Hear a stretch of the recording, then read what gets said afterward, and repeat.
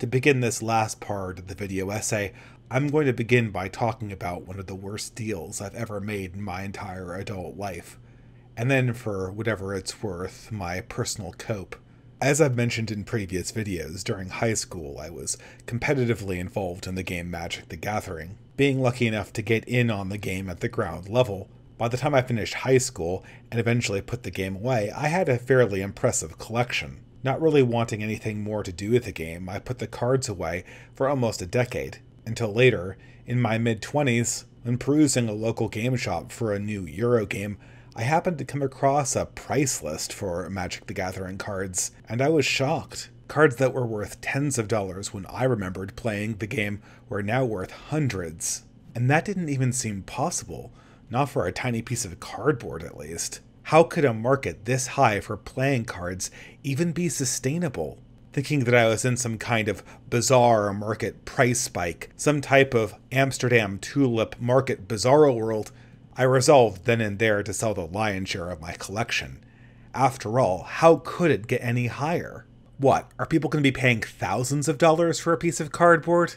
I remember walking out of the game shop with an enormous cashier's check, feeling like I was the smartest person in the world. But even at this moment, I wasn't entirely oblivious. I understood that there was a sentimental attachment to these collector's items. I was well aware of all the horror stories of people selling their comic book collections and then not really knowing what they had done with the money. The last thing I wanted was to have this new windfall just dissolve into the air, dissolve into the living expenses that just came along with being a 26 year old. At once, upon getting the money, I decided that I needed to buy something that had some sentimental value, but that was longer lasting, something that would have class and staying power, and just feel like a better and more adult investment than a series of playing cards. And so, with a good portion of the money I got, I sat down and bought this a refurbished 19th century violin, built before, could you believe it, the American Civil War. Of course, this was not the highest quality instrument. Despite being old, it was something of a beater, and I already had a much nicer violin from the 20th century that I used for most of my playing, which was predominantly American folk music. Still, I liked the idea of having this violin as an alternate. At the time, I really enjoyed attending music festivals and old time festivals where people camped and played in the evenings, and it was nice to have a marginally less expensive instrument that I could take to those gatherings, especially since its age made it so much of a conversation piece. The instrument was beautiful, for lack of a better word, and as I packed it up and took it home, I felt that there was no way that I would ever regret this deal. Well, wouldn't you know it? Fast forward seven or eight years, and financially, this deal was terrible. Those vintage Magic the Gathering cards, the ones worth hundreds that I never thought could be worth thousands, well, it turns out that they are worth thousands now.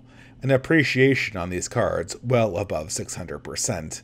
And, in case you're wondering, there has been no such similar appreciation on antique, low grade instruments, least of all old violins from the early 19th century. And while I do thoroughly enjoy having an alternative violin, post grad school and post family, big expeditions to folk festivals weren't really a thing for me anymore. Whereas the Magic the Gathering collection I had sold to obtain the violin, if liquidated at current market prices, probably would have covered a significant portion of the down payment on my house. In any objective terms, this was a bad deal. But before I go ahead and kick myself too hard for all the money I could have made, I will say this I don't actually regret the exchange. Of course, there's the raw financial difference that at this stage is quite hard to ignore, but in another sense, in another objective sense, I think it's just nicer to own the old violin than a set of Magic the Gathering playing cards. I know this sounds like a cope, and in some ways it kind of is, but it also gets to an emotion that I'm trying to put into words, an expression about the quality of the violin and the quality of its alternative. It's not simply that the violin is beautiful, which it certainly is. It's not even that I have sentimental attachment to the violin. From a strictly autobiographical point of view, I had more attachment to the cards. Still, while the Magic the Gathering cards might have reflected more of myself, more of my past life, I think the violin reflects more of humanity, more of the world in general. more of a beauty beyond my own personality. The Magic the Gathering playing cards were certainly for me nostalgic, and that's certainly why they sold for so much money. But the violin, despite its low price tag, is something more. The violin is cozy.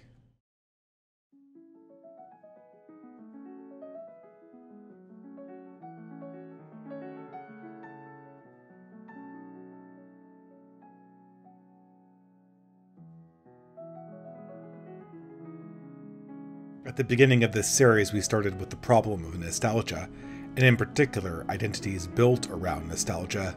The problem that seemed to dwell at the heart of nostalgia was the recursive and inward looking nature of the entire affair. We like these products because we consumed them in our childhood, we consumed them in our youth, and therefore they give our lives a sense of meaning, strictly for autobiographical reasons. Many times, nostalgia doesn't point to anything of greater truth or goodness because that's not what it's supposed to be. It's supposed to be self referentially valid. Good not because it tells or alludes to a greater story, but because imbuing it with a mythical quality will vicariously imbue your own life with mythical meaning. Here, obviously, we could talk about Jeremy, my own affinity for Magic the Gathering, but we could also point to Thought Slime's own affinity for bad horror movies and cheap Power Ranger knockoffs. In fact, most of the cultural content you experience in YouTube is built on just this kind of self referential narcissism. I probably don't have to harken back to Nostalgia Critic, Nostalgia Chick, and That Guy with the Glasses. Half of the fun of watching a Noah Antweiler or a Doug Walker was remembering how bad the product you used to consume was, and still feeling kind of good about consuming it. It was being made part of a story, and part of a story that only you could really interact with. This is a mode that our generation in particular feels very comfortable with, and very comfortable repeating again and again and again. It seems to trap the modern mind in a repeating mode, in what leftists like to call capitalist realism, and what rightists like to call modernity. We see it everywhere, from the 1980s motifs that are so common and popular on the right, to the 1970s camp and kitsch aesthetics that are favored by the left. And I'm not immune to this emotion. I'm not immune to this cultural reality at all. It does seem like we're living in a world that's an echo of another one. I remember recently watching a movie Ford vs. Ferrari with my wife. Being sort of a sucker myself for engineering movies, I thought it would be a good opportunity to leave the politics that seems inserted in all Hollywood movies these days and just go in for some car racing adventure fun. But when I watched the movie, I found myself less engrossed in the cars and more just fascinated by the world of America in the 1960s, of Michigan in the 1960s. Michigan is not a state that I feel unfamiliar with, but watching a snapshot of the era, even interpreted through the eyes of Hollywood, one sees a world that has more optimism, that has a sense of where it's going, and you can't help not wanting to go back to that place and to find something of the direction and meaning those characters and indeed all of America seem to have. Now, this is more romanticism than nostalgia on my part. I never lived through the 60s, but all the while experiencing this emotion, I'm tempted to return to and set up similar self affirming and self referential mythical narratives about the 90s and early 2000s. They did seem like more innocent times, and there is something there that it feels like we're missing now. I don't say this to be morose or melancholic, but simply to demonstrate the driving force behind our desire for nostalgia and to construct artificial, mythological consumer identities out of the things we consumed in times past. Probably such an introduction wasn't entirely necessary, it doesn't take a genius to see that the person who tries to construct an identity out of consuming B movies and playing consumer card games is obviously grappling for some kind of identity and narrative of his own life that previous generations would have gotten from deeper and more eternal sources. But in order to confront the problem of nostalgia, we need to understand that the issue is not the consumer items themselves, but rather the absence that inspires devotion to them. We live in an age that is singularly without quality. As Gertrude Stein might put it, there is no there there, or as we might adjust it, there is no here here. In the 2020s, we're all disconnected, we're all disassociated from the place that we're supposed to be from and the lives that we're supposed to be living. But if that's the case, if there is this absence, if we have in fact lost this key element of human life, how do we recover it? How do we find authenticity again? The classic answer, at least in the 1990s, was to try to find a more authentic place. Sure, America might be stale. Sure, you might not have a consistent identity handed down to you from your parents that you really respect. But certainly, this can be found abroad in more authentic and more ancient cultures. However, in the 21st century, I think this strategy is well and truly worn out. There is that common horrible modern experience, felt particularly keenly by Californians, when one journeys to a distant place, only to find it rapidly globalizing, rapidly homogenizing to the same common American and Western notion of a spiritless, consumer centered culture.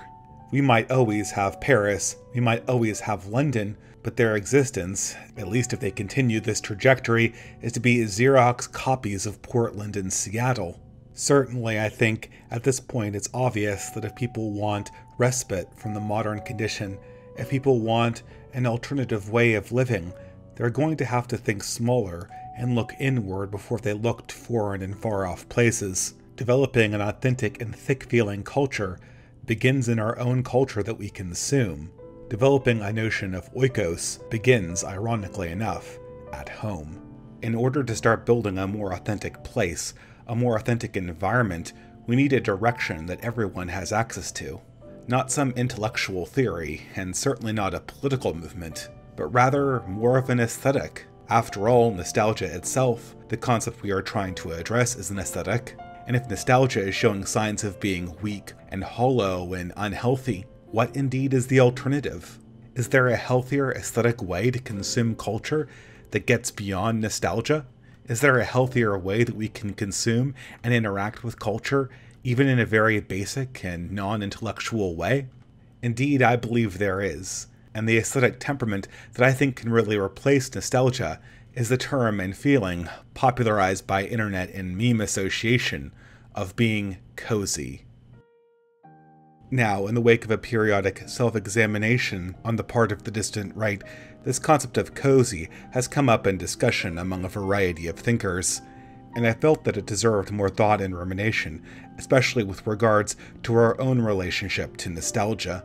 Probably most people at this stage are looking for a formal definition of this concept, something that I'd likely include in a video about language, politics, or philosophy.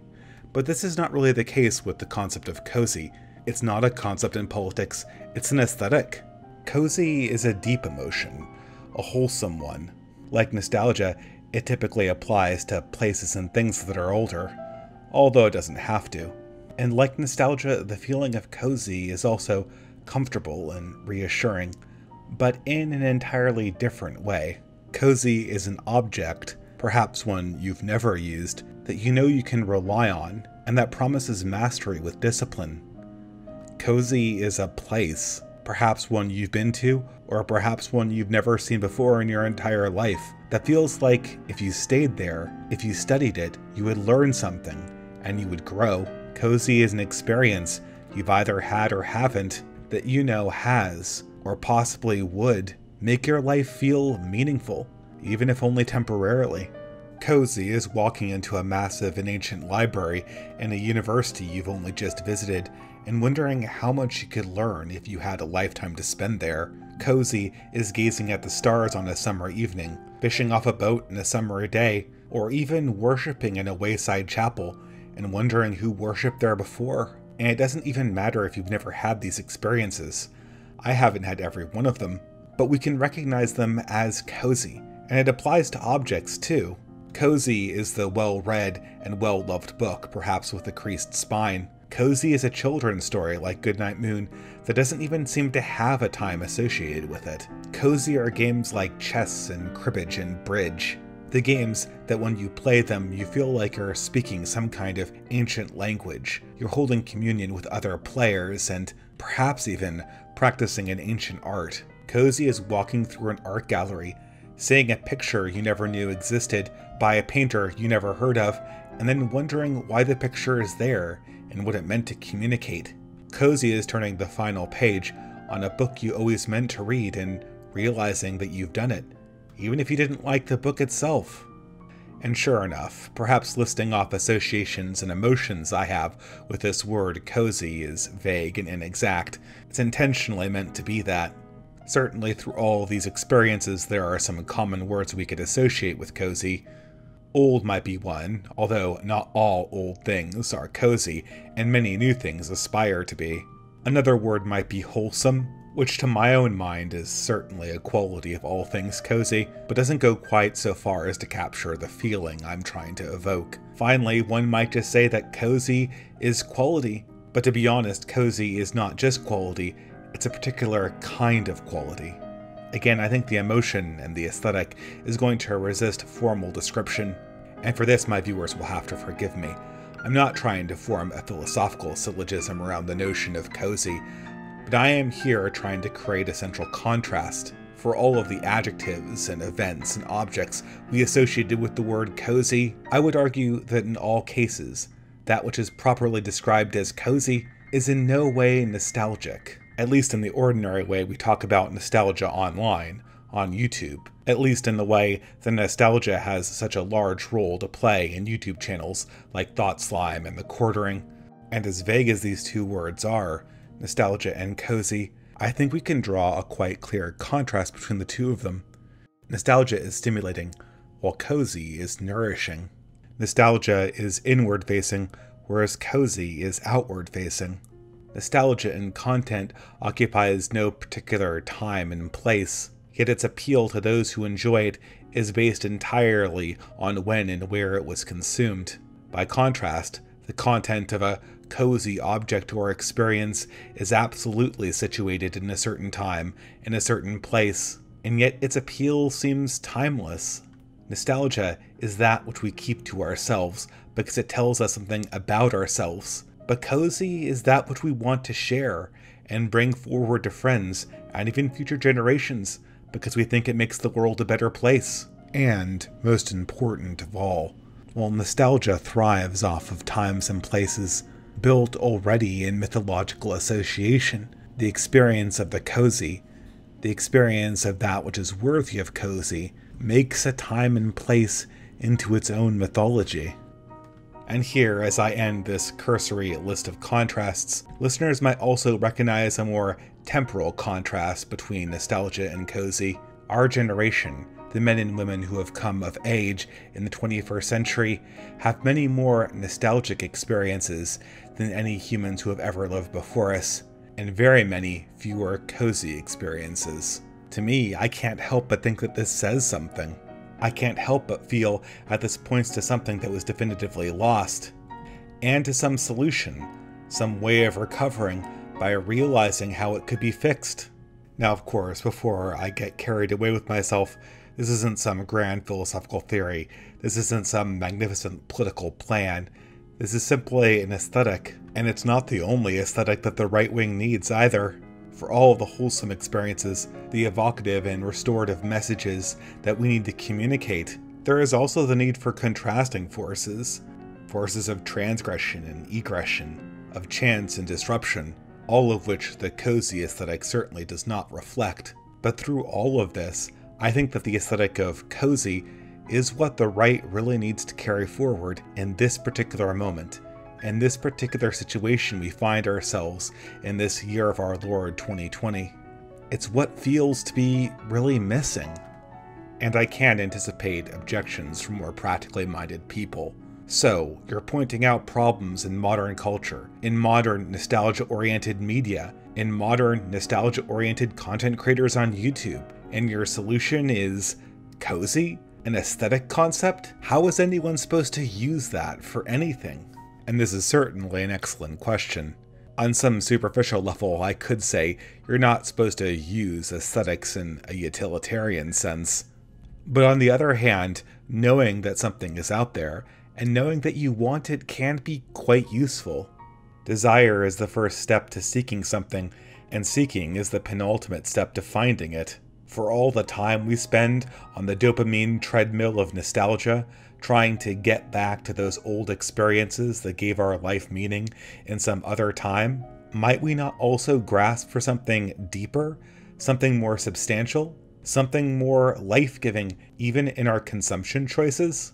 Perhaps trying to pick up and finish that book you always wanted to read instead of binge watching an old show on Netflix. Perhaps trying your hand at an instrument instead of a video game. And for those more ambitious creators out there, there is always the Herculean task of making that which is modern, that which is new, something that is worthy of being cozy, transforming a product's appeal to something that is momentary and consumeristic, towards something that's more artistic and timeless. Now I'm uncertain whether you could ever transform something like Magic the Gathering into being something as cozy as a game like chess, but I haven't wondered if modern nerd culture couldn't find redemption in another iteration under the caring stewardship of people who believe that it means something and points to something larger than themselves. For my own part, cozy is the aesthetic that I want my channel and my online presence to have for as long as I can maintain it always, I feel, inside the surface level aesthetic of coziness is an implicit promise that what you're consuming and what you're doing isn't simply entertainment, isn't simply just a never ending task to get dopamine hits. Within aesthetics, there are inspirations, there are promises, however subjective that statement might be. To return quite briefly to my own example, my possession of an old violin, purchased ultimately for much more money than it's actually worth. I see here that the value of the object of the violin is not so much in its use, but in its promise. A promise that, insofar as my own life goes, I should be more dedicated to those pastimes and those arts that are outwardly focused, that aspire to greater things, like music and beauty, and not simply self indulgence. It may be wild speculation on my part, but it is my sincere belief that if the right as a movement pursues this aesthetic, pursues this promise, it will bear fruit. If we focus on those objects and experiences that seem to contain more meaning, and focus on highlighting their importance, there is much to be gained. And not simply because of an absence on the left, not simply because progressive society has seemed to have lost the ability to pursue these things but more so because we might create something in the process that is beautiful and lasting in its own right. I realize this more and more as the years go by, and in particular this year. As you cross milestones in your life, you come to the realization that you're not young anymore, not young in any way or in any sense. Any pretension to be young would just be a lie, and that puts things in a different perspective. Because implicit in any identity that is not itself young is the question about what you're going to give to the future. What are you going to hand down? And no one really wants to hand down their nostalgia. No one really wants to hand down a catalog of bad habits and meaningless consumption. We want to pass on something more thick, more real, more life giving. Thinking this way is really the curse of all mortals, but in another sense, it's also our salvation. It forces us to think bigger. Finishing out a video series that started as a critique of several other, much larger and much more successful YouTubers, I'm tempted to transpose these existential observations from my personal life to my digital one. Ultimately, no one knows the true value of a YouTube channel, and certainly the answer to the question of what my channel might deliver ultimately is more up to my audience to provide than myself. However, for whatever good this channel provides to the many fewer people who watch it, I have sometimes fancied that the digital mortality presented by the online censorship of right wing channels may in fact be an opportunity. I can confidently say that ThoughtSlime's channel will last for as long as its creator wants. It has a certain kind of immortality that you usually associate with left wing projects online. And for all his anti woke rabble rousing, I would guess that Jeremy from the Quartering is in no imminent threat of censorship. He hasn't crossed any of those lines that would mark him as a dangerous right wing dissident. And in all probability, both of these content creators, for as much as they hate each other, will continue on and on and on, critiquing nostalgic products from different sides. But the same can't be said for right wing channels. The time frame for these products is limited. Even my own channel, which is far from edgy when it comes to dissident right content, I have to admit that the banhammer is probably somewhere in my future. How long is it going to be? Four years? One year? Six months? And with that time frame in mind, your priorities change. How is one going to use their platform to the best possible end? Immortals can afford to mess around with trivialities that don't ultimately live there, but those who are immortal have to make it count. And herein really lies the essential nature of the cozy aesthetic. It is that which is worthy for other people, it is that which is worthy for future generations. And when we deal with ideas that are worthy, when we deal with concepts that are worthy, even when we deal with vague aesthetics that are worthy, we are doing something much more powerful and much more meaningful than simply restructuring a narrative that is ultimately just about ourselves.